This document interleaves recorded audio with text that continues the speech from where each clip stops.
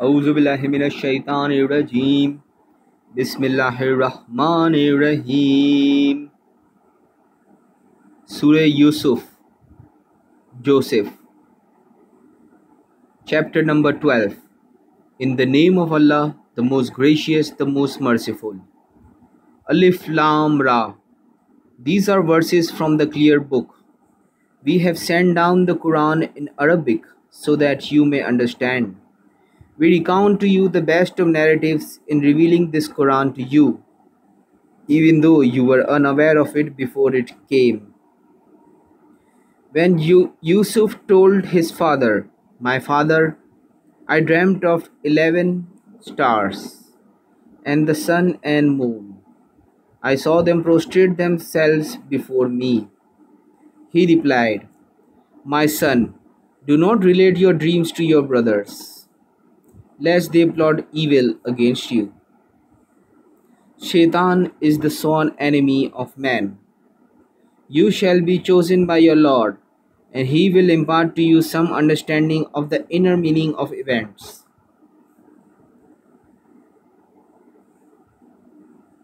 He will bestow the full measure of his blessings upon you and upon the house of Jacob, even as he formerly bestowed it in full measure upon your forefathers Abraham and Isaac. Truly, your sustainer is all knowing and wise. Surely, in Yusuf and his brothers, there are signs for the inquirers. They said to each other, Surely Yusuf and his brother Benjamin are dearer to our father than ourselves although we are a band. Truly, our Father is clearly mistaken. Therefore, let us put Yusuf to death, or cast him away to some far off land, so that our Father's attention should turn only to us, and you can thereafter become a righteous people. One of them said, Do not kill Yusuf but if you must do something, cast him into the bottom of a well. Some of the travelers will pick him up. They said to their father, Why do you not trust us with Yusuf? We are indeed his well wishers. Send him with us tomorrow, so that he may play and enjoy himself. We will look after him. Yaqub said, it would indeed grieve me if you took him away with you, and I fear lest the wolf should devour him while you are off your guard. They said, Surely, if the wolf devoured him while we were a strong party, we would indeed be great losers. And so, when they went away with him, they decided to cast him into the dark depths of a well then we revealed to him our will. You shall one day tell them of this deed of theirs.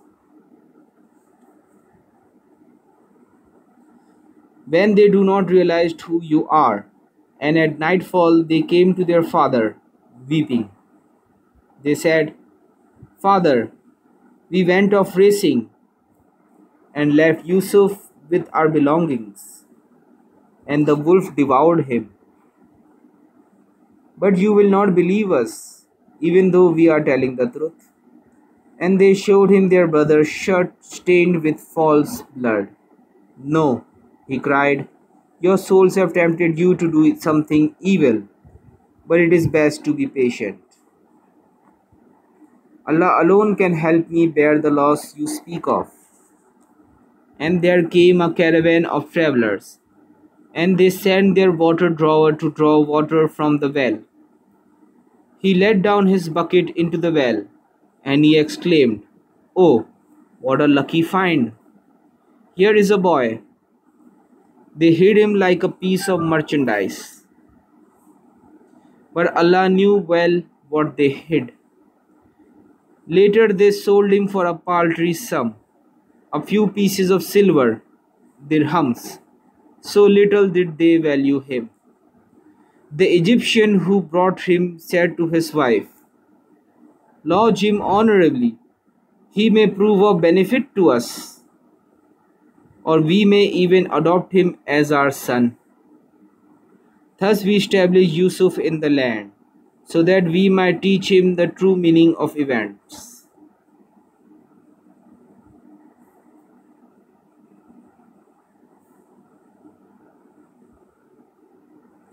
Allah has power over all things. However, most people do not know this.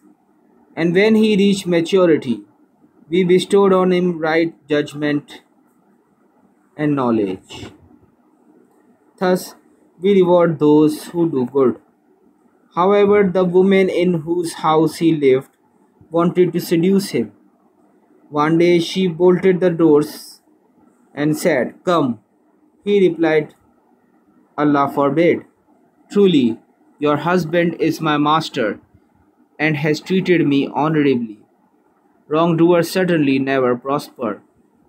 She started towards him, and he would have succumbed to her if he had not seen a sign from his Lord. We did this in order to keep evil and indecency away from him, for he was truly one of our chosen servants. They both ran to the door, and in the struggle, she tore his shirt at the back. They found her husband at the door.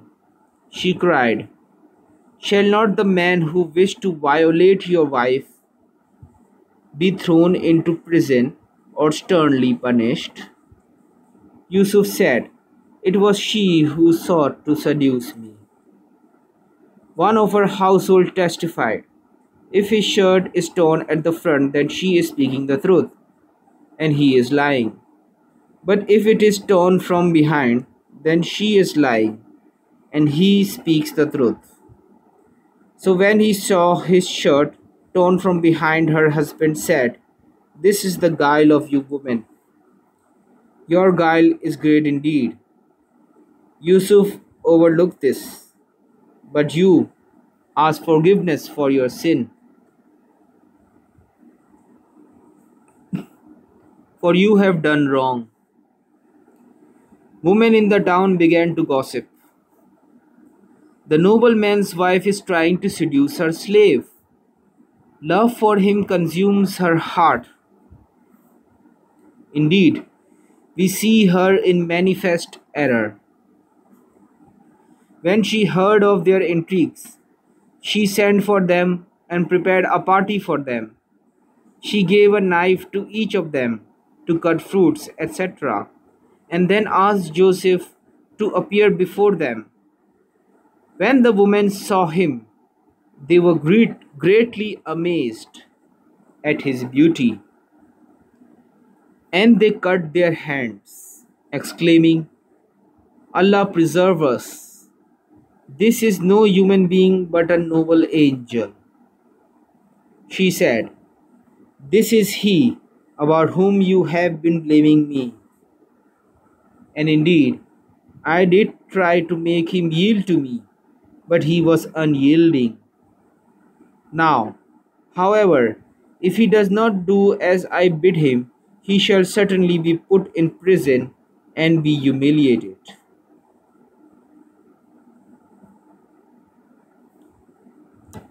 Yusuf said, O my lord, I would prefer prison to what these women are inviting me to do.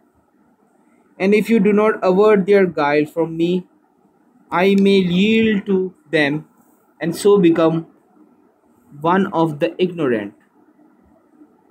So his Lord answered him and warded off their guile.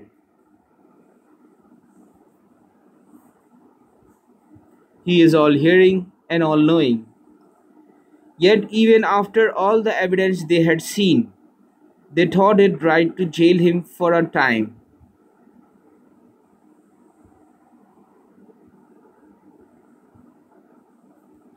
Two young men entered the prison along with him. One of them said, I saw myself in a dream. I was pressing wine. The other said, I dreamt I was carrying bread on my head from which the birds were eating. Tell us their eh, meaning, for we see that you are one who does good to all. Yusuf said to them, I shall inform you of the interpretation of your dreams before your meal is brought to you.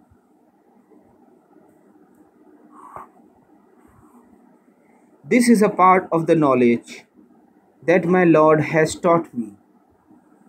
I have renounced the religion of the people who do not believe in Allah and who deny the hereafter.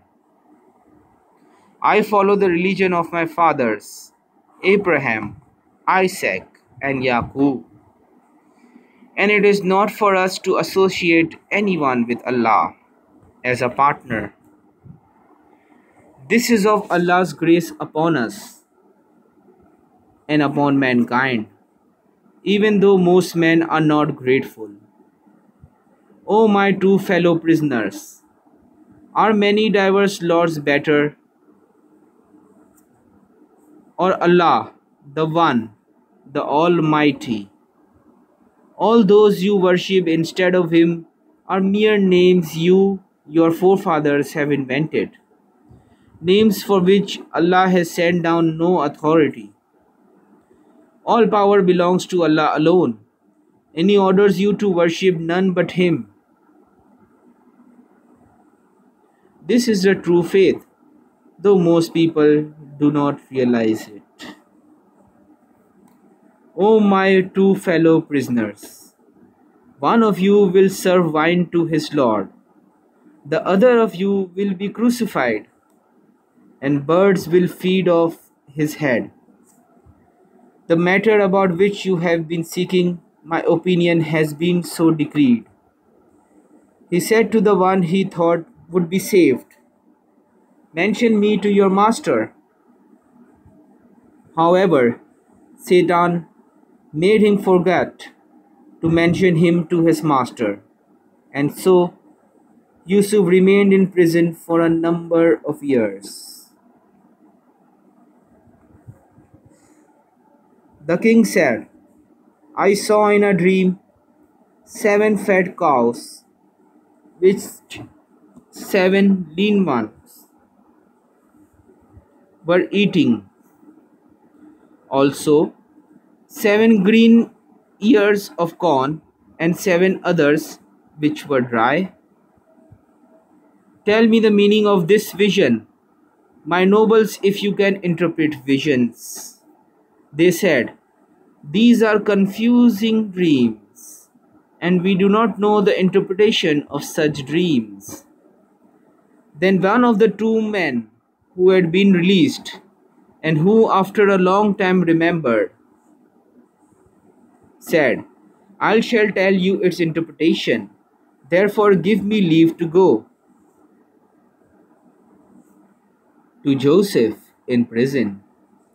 O truthful Yusuf, he said, tell us the meaning of a dream in which seven fat cows are e- being eaten by seven lean ones, and there are seven green ears of corn, and seven others which are dry, so that I may return to my people and inform them.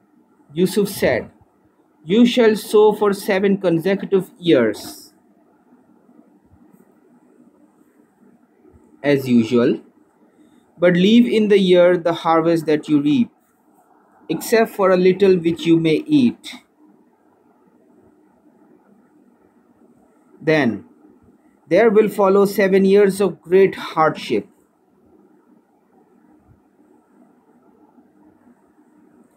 Which will consume all but a little of what you stored.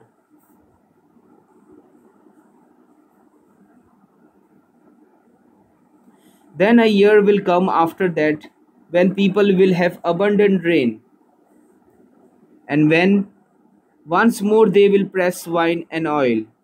The king said, Bring him to me. When the king's messenger came to Yusuf, he said, Go back to your master and ask him about the women who cut their hands. My lord knows well their guile.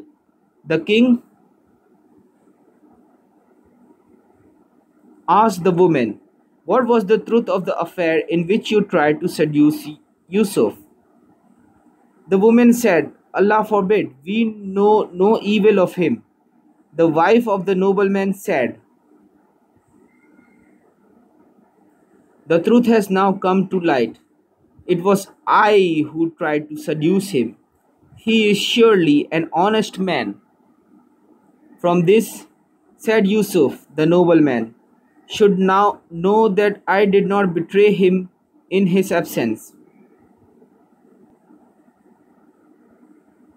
and that Allah does not guide the plotting of the treacherous. I am not trying to absolve myself from man's very soul incites him to evil. Unless my Lord bestows his mercy, indeed, my Lord is forgiving and merciful.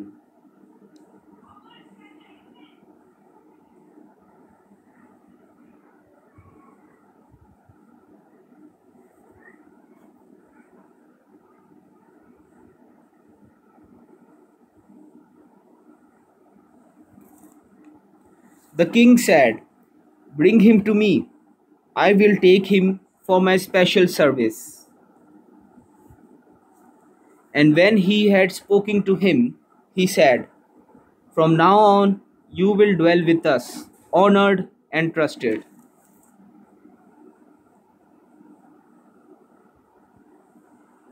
Yusuf said, Place in my charge the storehouses of the land, for I am a good and knowledgeable custodian.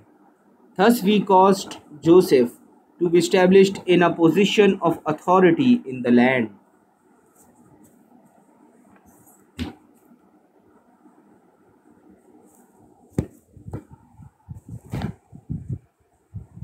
He could dwell therein wherever he pleased. We bestow our mercy on whomever we please, and we do not allow the reward of the righteous to go to waste. Yet the reward of the hereafter is best for those who believe and are mindful of Allah. Joseph's brothers arrived and presented themselves before him.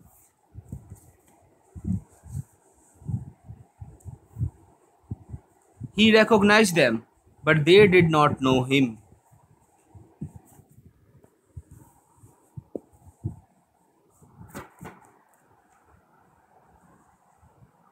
When he had made provision for them, he told them, Bring me your brother on your father's side. Do you not see that I give you full measure, and that I am the best of hosts? But if you do not bring him to me, you shall have no grain from me. Nor shall you ever approach me again. They replied, We shall try to persuade his father to send him with us. We shall do our utmost.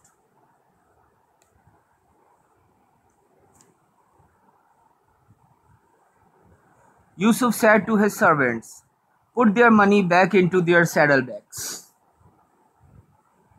so that they will recognize it when they return home to their family. Thus they may come back. When they returned to their father, they said, Our father, any further measure of grain has been denied us. So send our brother Benjamin along with us, so that we may obtain our measure of grain. And we shall guard him well. He replied, Am I to trust you with him as I once trusted you with his brother? But Allah is the best of guardians, the most merciful of all.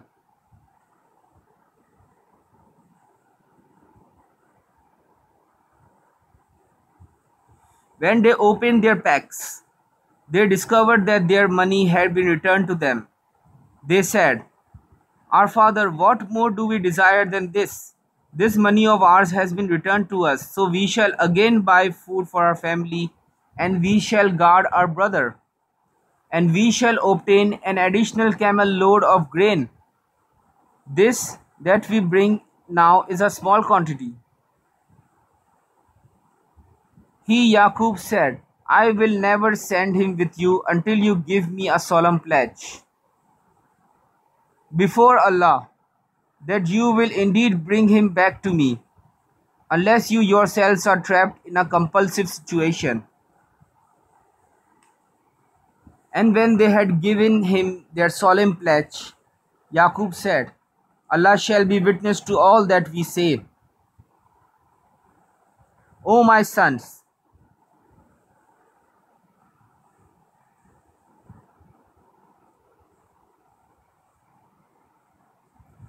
Do not all of you enter the city by one gate. Enter by separate gates. I cannot help you in any way against Allah. Judgment is His alone. In Him I have put my trust. In Him let the faithful put their trust. They entered safely as their father had told them. However, he had no power to guard them against Allah's decree. It was only a wish in Yaqub's soul when which he had thus fulfilled. He was possessed of knowledge which we had given him, but most people have no knowledge. When they presented themselves before Yusuf, he took his brother Benjamin aside. He said, I am your brother. So do not feel distressed about whatever they have been doing. And when he had given them their provisions, he placed a drinking cup in his brother's pack. Then a crier called out after them, Men of the caravan, you have committed theft.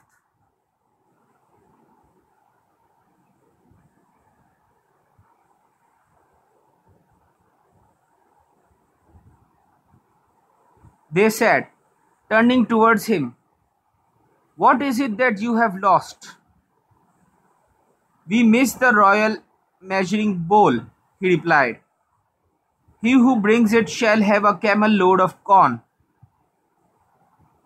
I pledge my word for it, they said. By Allah, you ought to know we have not come here to cause any trouble in the land. We are not thieves. The Egyptian asked them,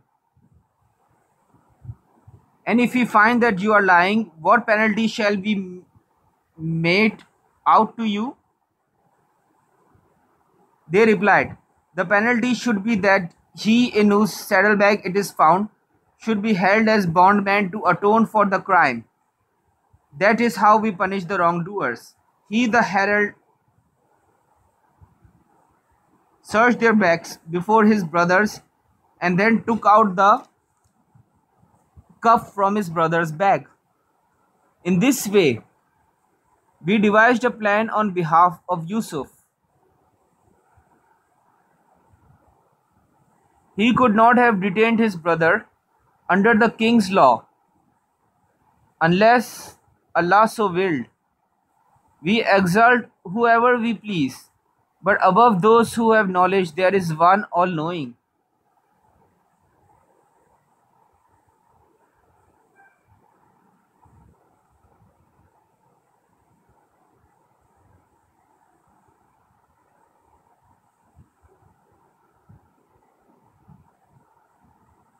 They said, If he is a thief, a brother of his had also committed theft before him. But Yusuf kept his secret and revealed nothing to them.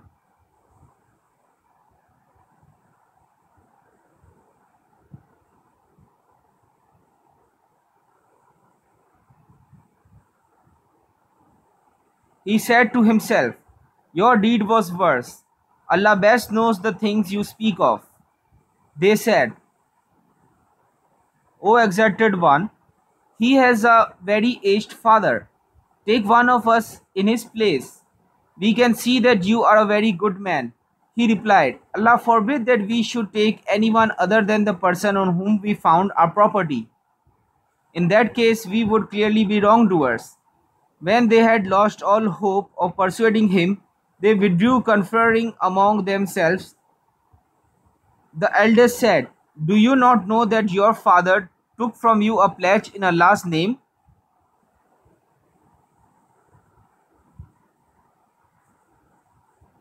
You have already failed with regard to Yusuf. So I shall never leave the land until my father permits me to, or Allah decides things for me. He is the best judge.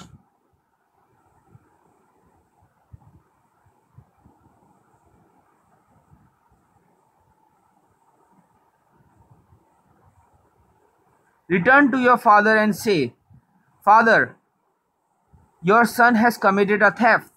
We testify only to what we know. How could we guard against the unforeseen? Inquire of the people of the city where we lost, and out of the caravan, and of the caravan with which we traveled. We are telling you the truth.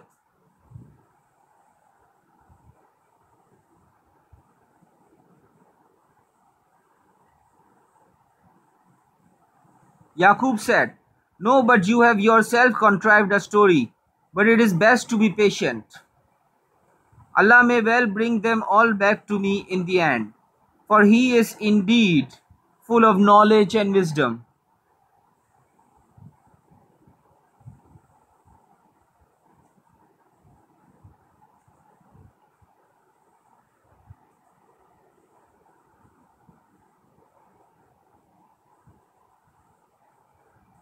And he turned away from them crying. Allah asked for Yusuf. His eyes went white with grief. And he was filled with sorrow.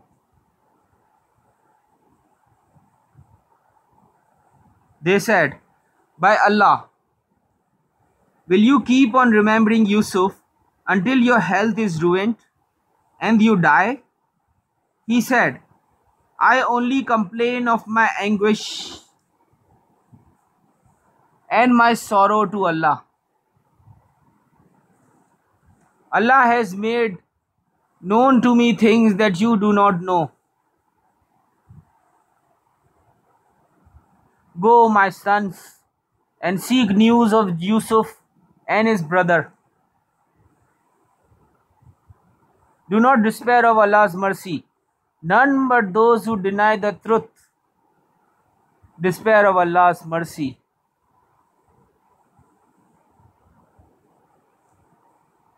When his brothers presented themselves before Yusuf, they pleaded, Exalted One, distress has afflicted us, and our family and we have brought only a paltry sum. But give us full measure. Be charitable to us. Truly, Allah rewards the charitable.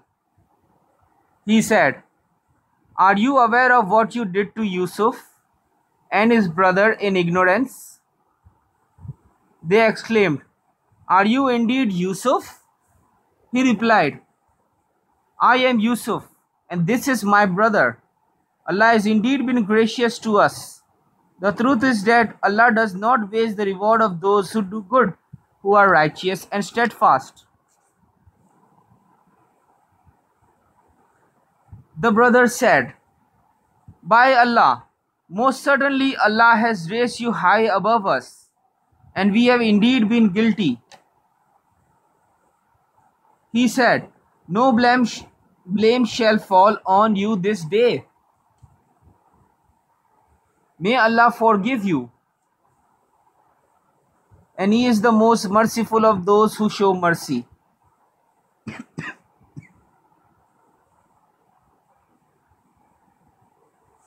Go with this shirt of mine and cast it upon my father's face.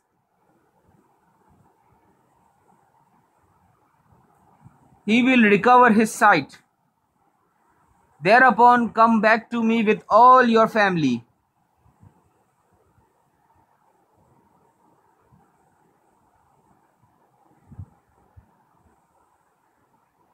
When the caravan set out from Egypt, their father in Canaan said, You may think I am senile, but I suddenly perceived the breath of Yusuf. They said, By Allah, you still persist in your delusions, illusions.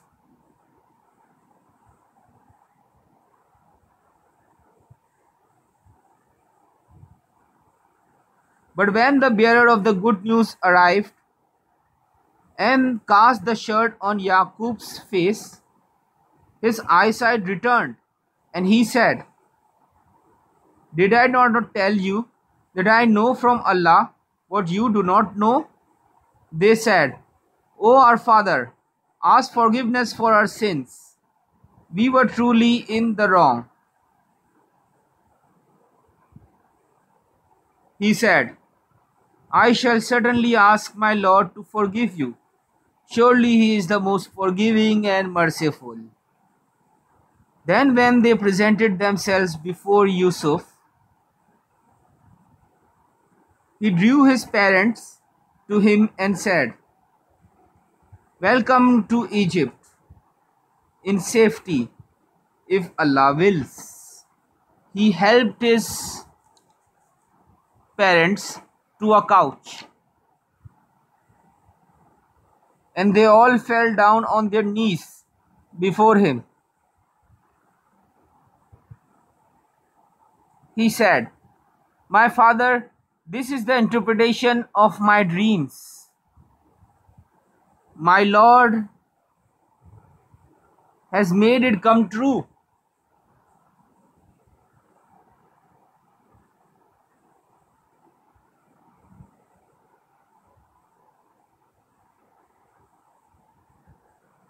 He was kind to me when he let me out of prison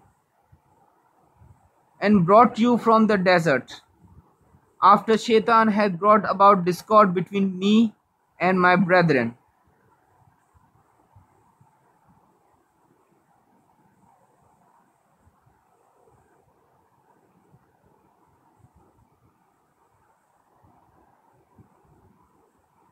My Lord is the best planner in achieving what He will. He is all knowing and truly wise. Then Yusuf prayed, My Lord, you have given me power and taught me the interpretation of dreams, creator of the heavens and the earth. You are my patron in this world and the hereafter. Make me die in submission to you and admit me among the righteous.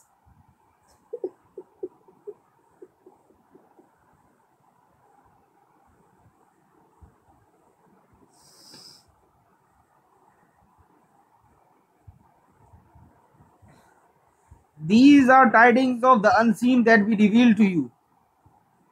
O Prophet, though you were not present with them when they plotted and agreed upon a plan, yet most men will not become believers. No matter how eager you may be, you shall not ask them for any reward for this. It is but a reminder for all mankind. And there are many signs in the heavens and the earth that they pass by and give no heed to. And most of them, even when they profess belief in Allah, attribute partners to Him. Do they feel secure that the all encompassing punishment of Allah will not come upon them? Or that the last hour will not come upon them suddenly when they least expect it?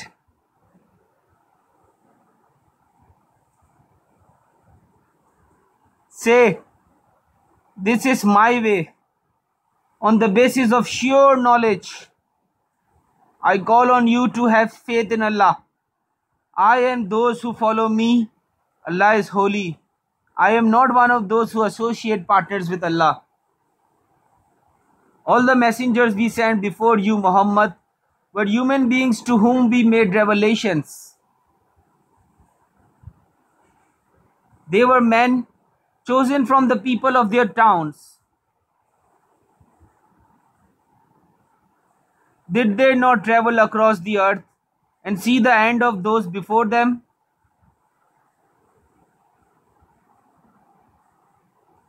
Those who are mindful of Allah prefer the life to come.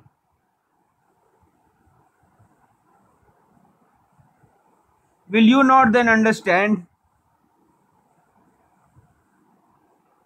When the messengers lost all hopes and thought they had been told lies,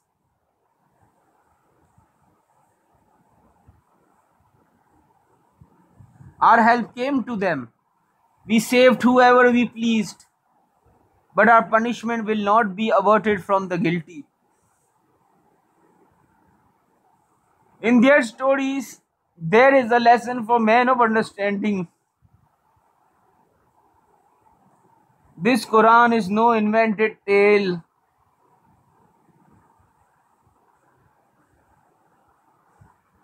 But a confirmation of the previous scripture and a detailed explanation of all things as well as guidance and mercy to true believers. End of Surah Yusuf. Verse 111.